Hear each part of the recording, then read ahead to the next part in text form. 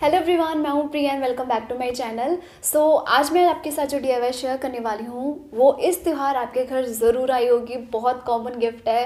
सो so, मैं बात कर रही हूँ यहाँ पे ड्राई फ्रूट्स ट्रे की। सो so, यहाँ पे अलग अलग साइजेस होते हैं बट मेरे पास जो साइज़ है वो आई थिंक लार्ज साइज़ है जो सबसे बड़ा साइज़ होता है वही है। सो so, इस ट्रे से रिलेटेड एक और DIY ऑलरेडी मैं अपने चैनल पर शेयर कर चुकी हूँ। सो so, ये जो आप टेबल देख रहे हैं ये मैंने ड्राई फ्रूट्स ट्रे से ही बनाया था। और अगर आपने ये नहीं देखा है सो so, मैं लिंक डिस्क्रिप्शन में आई बटन में दे दूँगी आप चेक कर सकते हैं। बहुत ही बजट फ्रेंडली बहुत ही स्मार्ट बहुत ही डिसेंट सा लुक लगता है और या उसका वीडियो मैं दे दूँगी आप चेक कर लीजिएगा। मेरे लिविंग रूम मेकओवर में मैंने इस टेबल का मेकओवर शेयर किया है। सो so, चलिए आप बात करते हैं आज के डीआईवाई की। सो so, आज के डीआईवाई में जो मैंने किया है वो बहुत कॉमन है बहुत ज़्यादा कॉमन है। बट आप उसके साथ बहुत सारी चीज़ें ऐड कर सकते हैं। मेरे चैनल पे आए हैं तो प्लीज़ सब्सक्राइब मेरे channel hit that bell icon उससे आपको सारी नोटिफिकेशन मिल जाती हैं। और अगर वीडियो अच्छी लगती है तो लाइक कर दीजिएगा और ज़्यादा से ज़्यादा शेयर कर दीजिएगा। तो चलिए आज का वीडियो स्टार्ट करते हैं। सो so, यहाँ पे मैंने ट्रे ली है। इस ट्रे को सबसे पहले हम क्लीन करेंगे। जितनी भी चीज़ें एक्स्ट्रा उनको मैं हटा लूँगी। हटाने के बाद अब हमें इसके बेस को स्मूथ करना बहुत इंपॉर्टेंट है जिसके लिए मैं रेग मार ले रही हूँ। किसी पे भी कलर अप्लाई करने से पहले उसका बेस आप साफ़ कर लें स्मूथ कर लें ताकि आपकी जो कलर की फिनिशिंग है वो बहुत अच्छे से निकल के आए। तो यहाँ पर मैंने इसको अच्छे से रेडी कर लिया है जैसा आप देख रहे हैं। अब मैंने यहाँ पे लिया है क्ले और ये फेविक्रिल का जो क्ले है, आपको स्टेशनरी शॉप पे ऑनलाइन बहुत इजीली मिल जाता है। अब मैंने यहाँ पे सर्कल ड्रॉ करने के लिए जस्ट छोटा साइज़ का एक प्लेट लिया है, आप चाहें तो किसी भी चीज़ की हेल्प से यहाँ पे ड्रॉ कर सकते हैं। सो जब मैं इसको मार्क कर लूँगी मार्क करने के बाद अब हम यहाँ पे बाकी सारे डिज़ाइंस बनाएँगे। तो क्ले अगर आप फ़र्स्ट टाइम यूज़ कर रहे हैं तो कुछ चीज़ें हैं, मैं आपके साथ शेयर कर दूँ। कि ये जो क्ले है आ, कुछ टाइम के बाद जल्दी ड्राई होने लगता है। तो क्ले को रेडी करने से पहले आप अपने डिज़ाइंस अपने जो भी हैं वो सोच के पहले से प्री प्लानिंग कर लें ताकि आपको सोचने में टाइम वेस्ट ना हो आपका क्ले जब तक ड्राई हो उससे पहले आप चीज़ें रेडी कर लें। सो so, बेस में पाउडर ज़रूर लगाएँ क्योंकि थोड़ा स्टिकी होता है हो सकता है सरफेस में चिपके। और ये जो कटर आप देख रहे हैं ये भी मैंने अमेज़ोन से लिया है। बहुत अच्छी क्वालिटी के कटर्स हैं ये और सेकंड चीज़ ये कि इसमें बहुत सारे डिज़ाइंस और साइज़ आपको मिल जाते हैं। सो so, यहाँ पे इस कटर की हेल्प से मेरा काफ़ी ज़्यादा टाइम बच गया है और यहाँ पे मैं एक्स्ट्रा इसको मजबूती के लिए फेविकॉल यूज़ कर रही हूँ। अब मैंने यहाँ पे जो भी मैं डिज़ाइंस बना रही हूँ आपको देख के समझ में आ जाएगा और जिस जिस मेथड से मैंने जो जो चीज़ें यूज़ की वो सब आपको इसमें देखने को मिल जाएगा। सो so, चलिए आप देखिए कि मैंने इसको कैसे रेडी किया।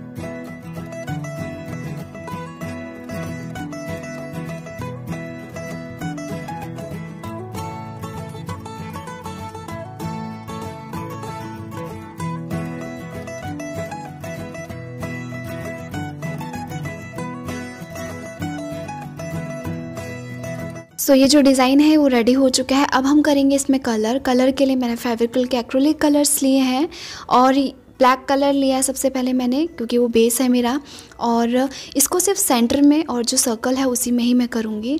ये जो 100 एम की क्वांटिटी का ये एक्रेलिक कलर है, अगर आपको मार्केट में नहीं मिल रहा है सो मैं लिंक डिस्क्रिप्शन में दे दूँगी, आप चेक कर सकते हैं। अमेज़ोन में बहुत ईजीली मिल जाता है। सो अभी हम यहाँ पर कलर करेंगे। थोड़ा सा टाइम टेकिंग है, क्योंकि डिज़ाइन छोटे छोटे हैं। हर एक कॉर्नर में कलर होना बहुत ज़रूरी है।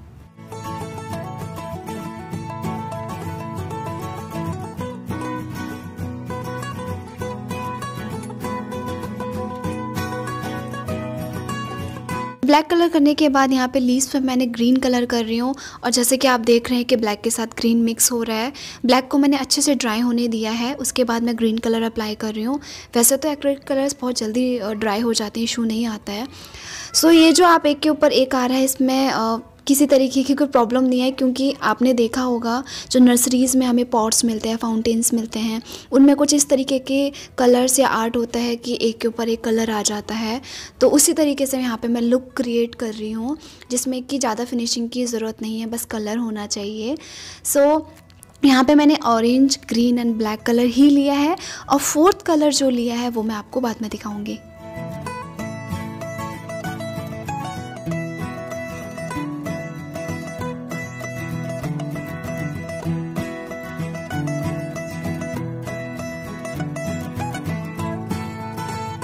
तो जो हमारा बेस है वो अच्छे से ड्राई हो गया है। सो so, कुछ कुछ पोर्शंस को मैं हाईलाइट करूँगी जिसके लिए मैंने यहाँ पे मेटालिक कॉपर शेड लिया है जो कि फैब्रिकल का एक्रोलिक कलर ही है। और यहाँ पे गोल्डन सिल्वर काफ़ी शेड्स मिल जाते हैं। सो so, कॉपर मैं यहाँ पे यूज़ कर रही हूँ। कुछ कुछ पोर्शन में और फिर इसको अच्छे से ड्राई होने दूँगी फिर हमारा ये रेडी हो जाएगा।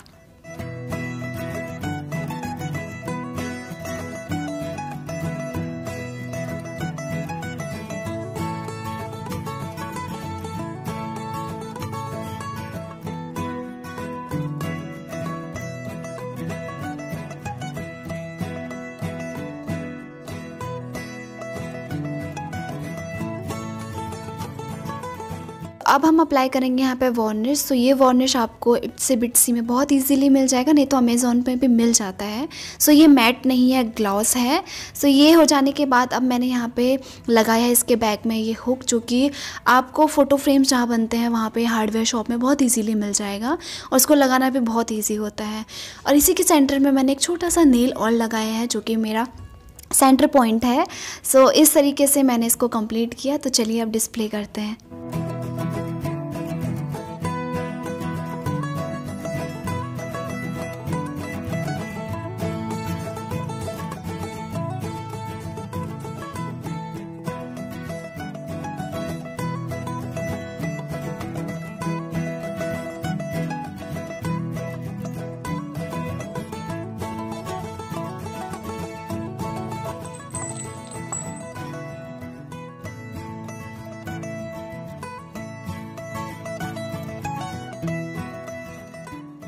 ये जो गणपति जी हैं ये मैंने अमेज़ोन से परचेज़ किया है। इसकी क्वालिटी की अगर मैं बात करूँ तो बहुत ही अच्छी क्वालिटी बहुत ही अच्छी फिनिशिंग और बहुत ही हैवी भी है ऐसा नहीं कि हल्के में ही है।